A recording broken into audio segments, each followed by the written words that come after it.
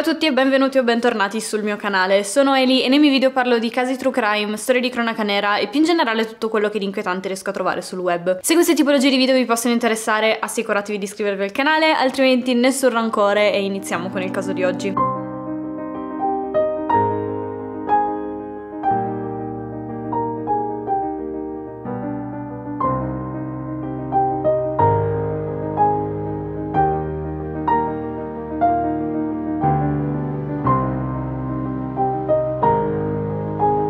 Per il caso di oggi ci troviamo per la prima volta sul mio canale in Australia, più precisamente nella capitale dello stato Victoria, ovvero Melbourne. Melbourne è un centro culturale internazionale, tanto che viene anche spesso definita come la capitale culturale dell'Australia. Non lo sapevo, ma facendo un paio di ricerche ho scoperto che a quanto pare a Melbourne è nato il primo lungometraggio della storia del cinema, è nata qui anche la televisione australiana e un sacco di correnti artistiche da eh, pittura, letteratura, musica, eccetera. Quindi anche per questo motivo per il fatto che è sempre stata sede culturale così eh, dell'Australia, ci sono un sacco di università qui, alcune delle più antiche dell'Australia e di conseguenza è molto abitata, molto popolata da vari studenti che si trasferiscono lì ogni anno per seguire i corsi universitari. Questa città è inoltre molto conosciuta nella cronaca nera, infatti in realtà sono un po' stupita del fatto che ho trovato un primo caso che è accaduto qui così in là nell'inizio insomma del mio canale, ma a quanto pare è successo davvero di tutto in questa città, in particolare particolare per il fatto che ci sono alcune gang che sono attive in questa zona che ne hanno fatto davvero di tutti i colori. In ogni caso a Melbourne nel 2012 viveva una ragazza di 29 anni di nome Jill Meagher. Jill era nata nel 1982 in Irlanda, in realtà circa una sessantina di chilometri da Dublino, ma aveva sempre passato moltissimo tempo in Australia, all'inizio magari durante le vacanze con i genitori e poi per un periodo in realtà ci aveva anche vissuto quando era più piccola perché suo padre per lavoro doveva seguire un progetto che si sarebbe proprio svolto in Australia, a Perth, quindi si, si erano trasferiti lì per un paio d'anni. Una volta finito questo periodo lavorativo all'estero del padre, ritornarono in Irlanda dove Jill completò i suoi studi del liceo e universitari. Fu proprio all'università che conobbe quello che diventerà poi suo marito, Tom Meagher, con il quale fu proprio amore a prima vista, proprio di quelle scene da film. Pochi anni dopo si sposarono, insomma,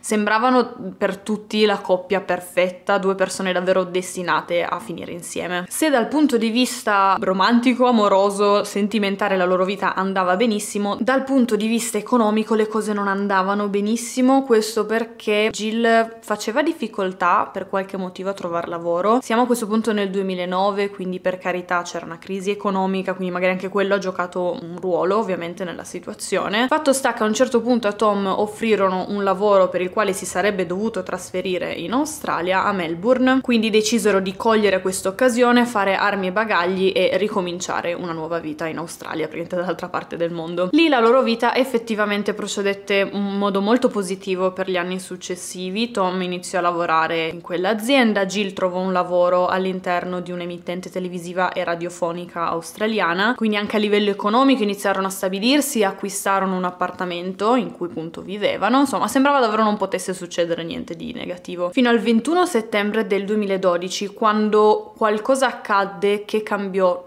drasticamente la loro storia. Quel giorno era un venerdì, più precisamente il venerdì pomeriggio. Jill chiamò suo marito Tom per avvisarlo che quella sera sarebbe arrivata a casa tardi perché avevano raggiunto un obiettivo insomma professionale al lavoro, quindi avevano deciso insieme ai colleghi di andare a mangiare fuori insieme e poi bere qualcosa insomma in zona. E tra l'altro eh, la sede dove lavorava Jill era davvero a pochissimi isolati di distanza da casa sua, quindi di conseguenza anche il ristorante e il locale locale che scelsero lo scelsero in quell'area. Per iniziare la serata scelsero un locale che si chiamava Brunswick Green, che era davvero appunto di fianco agli studio dove lavoravano. Fecero le loro cose, cenarono, poi si spostarono in un altro locale a due minuti letteralmente a piedi di distanza da quel locale lì che si chiamava Etiquette. Finirono la serata intorno all'una e mezza di notte, a questo punto si salutarono tutti e ognuno ovviamente doveva tornare a casa propria. Un suo collega le propose di dividere chiedersi il taxi, di appunto salire insieme su un taxi che avrebbe lasciato prima lei perché abitava proprio vicino e poi sarebbe andato a accompagnare lui. Solo che a questo punto Jill era davvero dietro casa, um, ho controllato le distanze tipo 10 minuti a piedi, quindi decise di non prendere il taxi, salutò il suo collega e si avviò a casa a piedi. Tra l'altro quella zona in realtà era una zona abbastanza tranquilla, in più una di quelle zone dove ci sono tanti locali, quindi la sera c'è sempre tanta gente fino almeno alla mattina presto. Tra l'altro una zona universitaria, quindi di nuovo piena di studenti, soprattutto il venerdì sera magari la gente esce, sta fuori fino a molto tardi, quindi Jill davvero non era preoccupata a tornare a casa da solo a quell'ora in quella zona. In più era una strada che conosceva molto bene perché era la strada che faceva tutti i giorni per andare e tornare al lavoro, aveva fatto quella strada probabilmente un centinaio di volte. Nel frattempo a casa di Jill Tom la stava aspettando, solitamente quando usciva si metteva sul divano insomma a guardare la televisione a cercare di aspettarla sveglia prima di andare a dormire. Quella sera in particolare come in realtà era capitato tante altre volte davanti alla televisione quest'uomo si era addormentato. Si sveglierà intorno alle 3 quando si rese conto che sua moglie ancora non era tornata a casa ed era strano in generale che non fosse ancora tornata a quell'ora ma era ancora più strano il fatto che non lo avesse avvisato, cioè se per qualche motivo avesse deciso di fermarsi di più con i suoi amici, solitamente avrebbe scritto un messaggio a suo marito dicendogli che sarebbe tornata per ora X. Provò a chiamarla più volte, lei mm, non risponderà mai, la chiamata in realtà passerà alla segreteria telefonica, cosa che fece preoccupare ancora di più quest'uomo. A questo punto ovviamente Tom si aggrappava un po' alla speranza che magari fosse ancora con i suoi amici, avesse perso la cognizione del tempo e che per qualche motivo non sentisse il telefono o magari non prendesse al locale, quindi decise di scendere e andare a controllare se fosse ancora lì al locale, solo che arrivò davanti al posto e questo era chiuso perché chiudeva alle due, quindi era già chiuso da un'ora e qualcosa. A questo punto lui provò a richiamarla, stesso risultato delle prime volte,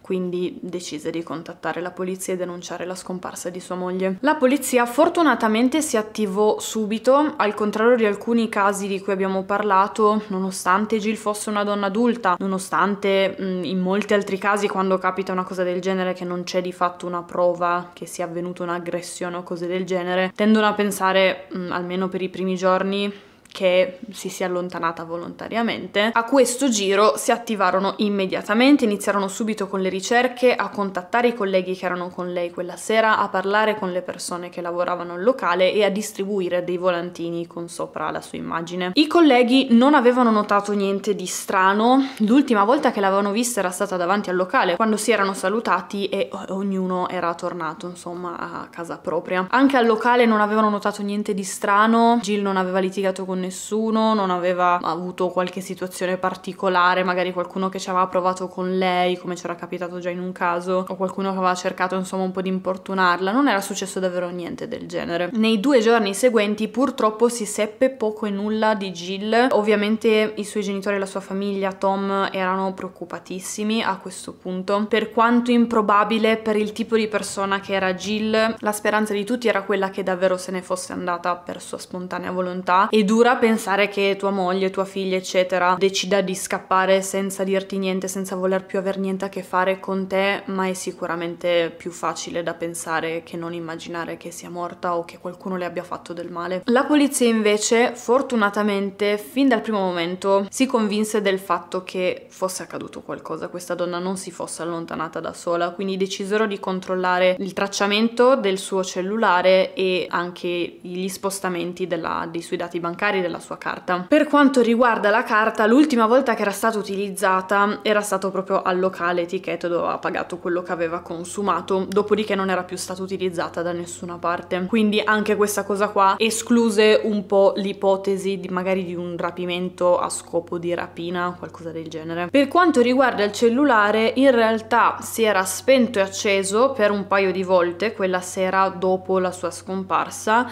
L'ultima volta che si era acceso si era collegato a una cella vicino a una città a tipo un'ora di macchina da Melbourne, molto distante rispetto a dove era stata vista per l'ultima volta. Una città che si chiamava Gisborne, una città dove Jill non aveva nessun tipo di contatto, non conosceva nessuno in quell'area, quindi non c'era davvero nessun motivo per cui un venerdì notte a quell'ora dovesse aver deciso per qualche motivo di andare lì. Come in ogni, non ogni caso ma quasi ogni caso, le prime persone a essere sospettate sono le persone più vicine alla vittima e questo caso non fa eccezione, anche in questo caso il primo sospettato fu suo marito Tom.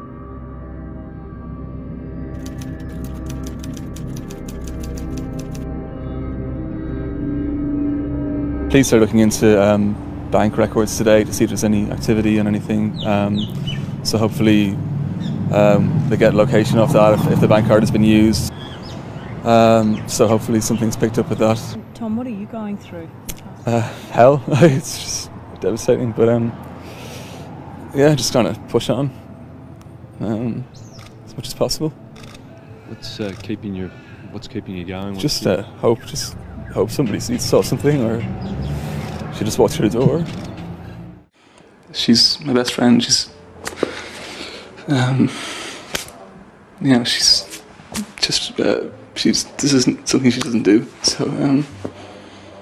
yeah. Excuse me. L'ipotesi della polizia inizialmente era che magari Tom avesse fatto del male a sua moglie, cioè che quella sera Jill fosse effettivamente arrivata a casa, dopodiché lui avesse nascosto in qualche modo il suo corpo e avesse inventato, fatto finta un po' di questa cosa che lei in realtà non era mai tornata, eccetera. E per quanto approfondirono questa ipotesi, come giusto che sia mh, vagliare ogni possibilità e ogni tipo di ipotesi, non trovarono effettivamente niente che potesse in qualche modo indicare possibile, un possibile coinvolgimento di Tom nella scomparsa di Jill. E nonostante la polizia ci mise davvero poco tempo a scartare questa ipotesi, questo caso iniziò a essere molto discusso su internet, sui social, in particolare su Facebook e purtroppo come in ogni caso che diventa eh, molto chiacchierato dall'opinione pubblica, da persone che non c'entrano niente ovviamente con il caso, succede una cosa negativa, ovvero il fatto che le persone iniziano a farsi un'opinione un'opinione chiara di un caso nonostante non si abbiano le basi per crearsi una vera e propria opinione. Ed è il motivo per cui io tendo quando riesco al 90% a non farmi a sforzarmi di non farmi un'opinione su questi casi. È una cosa difficile da fare perché psicologicamente noi siamo propensi a giudicare quello che vediamo le informazioni le persone eccetera. Ma è una cosa che io cerco di non fare ed è una cosa che capita purtroppo molto spesso con i casi famosi molto chiacchierati e mediatici. Quindi un sacco di persone soprattutto su Facebook, iniziarono a scagliarsi in maniera proprio violenta contro Tom, erano tutti convinti per qualche motivo che fosse lui il colpevole, gli, avevano fatto una sorta di processo finto sui social, cioè di opinioni di persone che dicono è colpevole, sicuramente è colpevole, ha la faccia da colpevole e cose del genere. E dato che questo fu un caso che sconvolse davvero l'Australia, fu anche una risposta probabilmente automatica perché le persone che vivevano lì chiaramente volevano quasi pensare che quella morte lì, quel caso lì non potesse essere una cosa randomica. Era più facile pensare che quella persona fosse stata uccisa da suo marito per motivi boh, legati alla coppia o cose del genere, piuttosto che pensare che c'era davvero un assassino a piede libero così spietato che va in giro a puntare persone, donne che tornano a casa da sole per rapirle e far loro chissà che cosa. Quindi fu probabilmente anche una risposta un po' automatica da parte delle persone. Pensate che per bloccare tutta questa cosa qui dovete intervenire la polizia stessa a fare una sorta di comunicato stampa dove chiedevano al pubblico di smetterla di accanirsi nei confronti di Tom e porteranno come prova per provare, anche se ovviamente non è il ruolo della polizia, però lo fece fecero per provare il fatto che Tom non c'entrasse niente, fecero vedere che praticamente nel momento in cui il cellulare si accese a Gisborne, l'altra città, quella un'ora di distanza da Melbourne, Tom viene ripreso da alcune videocamere nella zona vicino al locale intento a cercare sua moglie, quindi non poteva trovarsi nello stesso punto in cui si è acceso il telefono di Jill. E fortunatamente con questa specificazione della polizia le persone si calmarono un attimino, anche perché, cioè voglio dire, immaginate quest'uomo che già già deve affrontare una cosa così traumatica, figuriamoci dover, oltre a sopportare, a cercare di processare questa cosa qui, dover sopportare tutta questa pressione mediatica. Fatto sta che in seguito a questa cosa tentarono anche di andare a Gizmord tra eh, poliziotti, volontari, i familiari insomma di Jill a distribuire volantini, fare domande, cercare di capire se qualcuno avesse visto Jill quella notte. Ma purtroppo nessuno riuscirà a dare informazioni utili e in realtà ben presto scopriranno perché, ovvero il fatto che Jill lì non c'era mai stata. Dopo alcuni giorni dalla scomparsa, una persona si fece avanti, chiamò la polizia e disse di aver appena trovato una borsa di donna in un vicolo vicino all'area dove era scomparsa Jill. Quest'uomo chiaramente, giustamente, dopo averla trovata non voleva toccarla per non inquinare le prove chiaramente,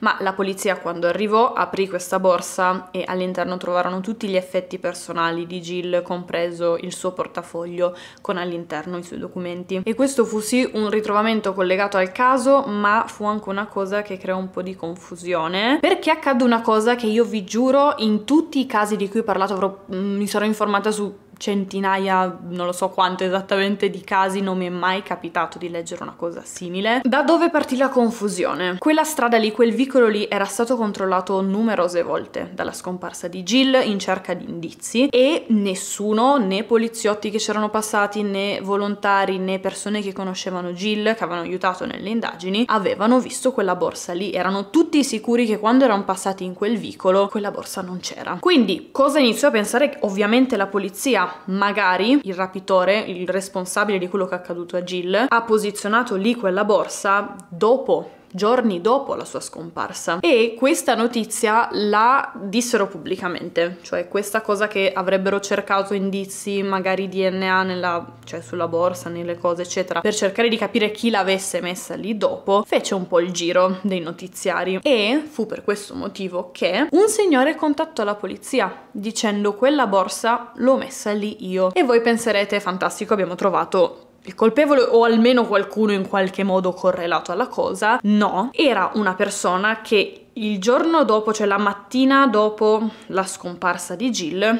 aveva aperto il suo negozietto, che tra l'altro si trovava proprio sulla via che aveva percorso Jill quella sera. Quando aveva tirato sulla serranda, aveva visto davanti al suo ingresso del negozietto quella borsa. Cosa aveva pensato di fare? Invece di, a prescindere ovviamente sapendo meno il caso di Jill, invece di contattare la polizia e dire ho trovato questo e questo, aveva deciso di fare il furbetto, quindi praticamente ha preso questa borsa, se l'è portata dentro, ha preso i soldi che c'erano nel portafoglio, insomma se l'è tenuta lui. Un giorno e mezzo, due giorni giorni dopo questo ritrovamento, mentre stava parlando al telefono con sua figlia, lei gli raccontò appunto che aveva sentito questa notizia di questa ragazza che era scomparsa e che era scomparsa proprio nella zona in cui quest'uomo aveva un negozietto. Questo signore si impanica un attimo, va a vedere i documenti, il nome sui documenti in questa borsa e si rende conto di avere nel suo negozio la borsa, i documenti, gli effetti personali di una persona scomparsa. Quindi cosa fa? Per la seconda volta invece di contattare la polizia e spiegare il malinteso, scelse di prendere questa borsa e lasciarla in quel vicolo facendo finta praticamente di niente. Quindi non solo la polizia ci metterà un po' di giorni a entrare in possesso di questa borsa, ma qualsiasi tipo di traccia DNA eccetera era stata contaminata perché quest'uomo l'aveva tenuto, aveva tenuto sta borsa, oltre ad aver toccato tutto, aveva tenuto sta borsa per giorni prima di lasciarla lì e che poi venisse ritrovata dall'altro passante. Quindi questo è quello che accadde per quanto riguarda la borsa.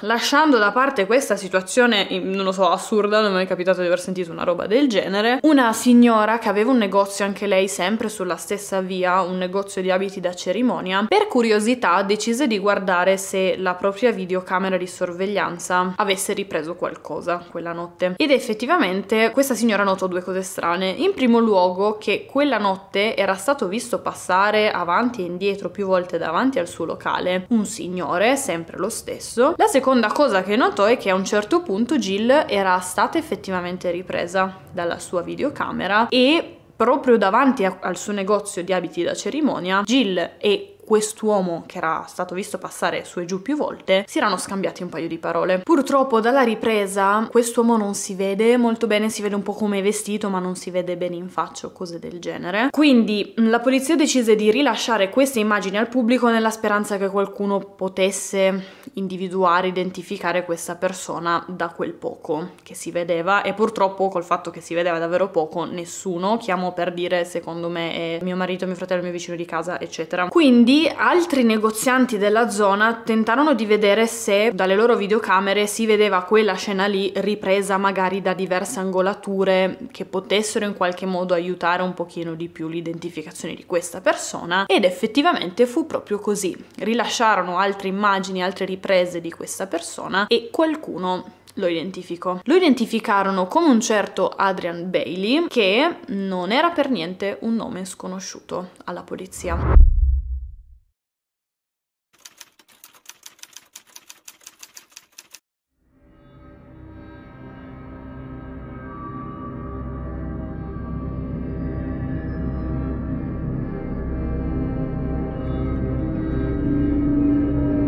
Adrian Bailey aveva uno storico con la polizia, un curriculum proprio di quelli che eh, si fa fatica a seguire, infatti mi sono segnata tutte le condanne, adesso ve le dirò. Risulterà probabilmente un po' un elenco, però non, non si hanno molte informazioni a riguardo. Era stato arrestato per la prima volta quando aveva 18 anni per aver aggredito e violentato una ragazza di 16 anni che era un'amica di sua sorella. In prigione però starà davvero pochissimo, tipo un anno e mezzo, verrà rilasciato prima per buona condotta, pochissimo tempo dopo il suo rilascio aggredì un'altra ragazza, aggressione che verrà risolta solo dopo una seconda aggressione poco tempo dopo, dove la vittima riuscì effettivamente ad identificarlo. Per queste due aggressioni e tentativi di stupro, Adrian si prese 5 anni. Però verrà rilasciato solo dopo 22 mesi, quindi un anno e qualcosa, per buona condotta di nuovo. E in seguito al suo rilascio aggredirà un bel po' di altre ragazze, tutte nell'area di Melbourne, proprio appunto dove si trovava Jill. Di queste diverse aggressioni, due risulteranno in uno stupro, verrà di nuovo arrestato e processato per queste varie aggressioni e verrà condannato a soli 12 anni di prigione, dove però ne avrebbe dovuti scontare solo 8 prima di richiedere la libertà condizionale e verrà rilasciato poco meno sotto gli 8 anni, sempre per buona condotta. Ma non abbiamo ancora finito perché pochi mesi dopo il suo rilascio aggredisce e tenta di stuprare un'altra donna, viene arrestato e condannato a 3 mesi di prigione, così non so quale le condanne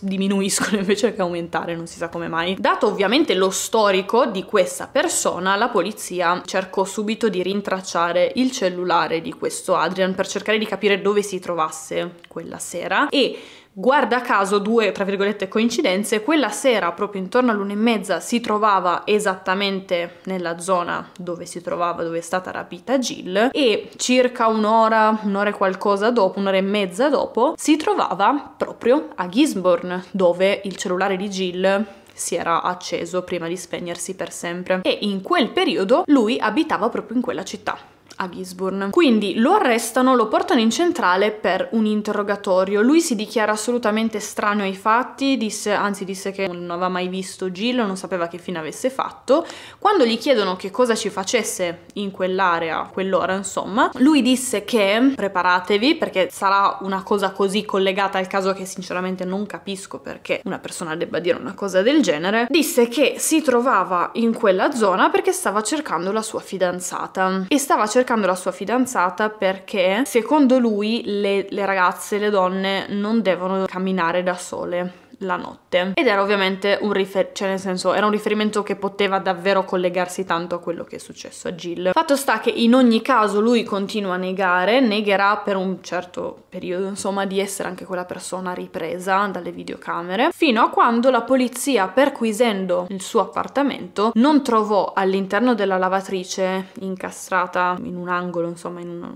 in una fessura della lavatrice una scheda SIM che si rivelerà essere la scheda SIM team di Jill. A questo punto, con, con, questo ritrovamento che ovviamente non poteva trattarsi di una coincidenza, Adrian decise di confessare e darà una spiegazione, io ve la dico, però